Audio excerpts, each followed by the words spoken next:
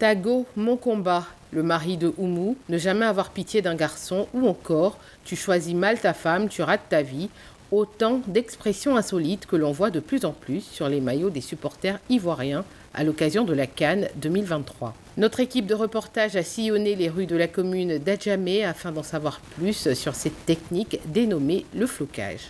Bon, il y a des, certaines personnes ici, ils viennent mettre leur, numéro simplement. Je vois que c'est pour le nom qui, qui marche bien. Il y a des certaines personnes, ils payent deux, ou soit c'est pour son copain, ou soit c'est pour sa copine.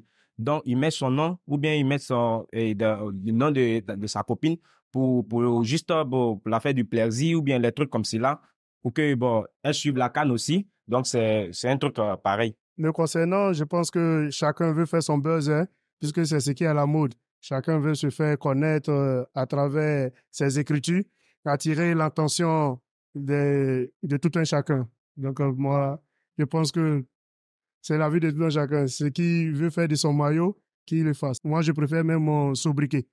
Voilà, ou bien mon nom personnel. Maillots, t-shirts et même les casquettes aux couleurs de la Côte d'Ivoire, tout y passe et chacun y gagne pour son compte. Le flocage est l'un des business les plus juteux qui s'est développé autour de la Cannes 2023. Vraiment, ça marche. Ça, vraiment, ça marche. Par jour, on met 100 000 par jour.